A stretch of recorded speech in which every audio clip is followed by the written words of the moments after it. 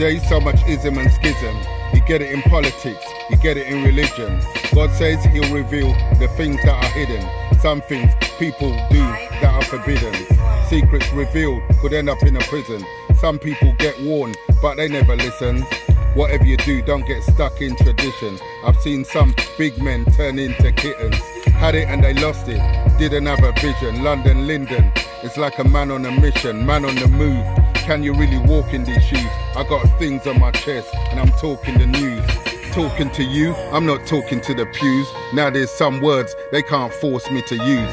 There's things that they can't force me to do.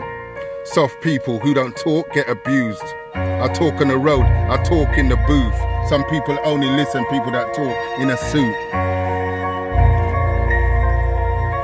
Yeah, you know I'm talking the truth.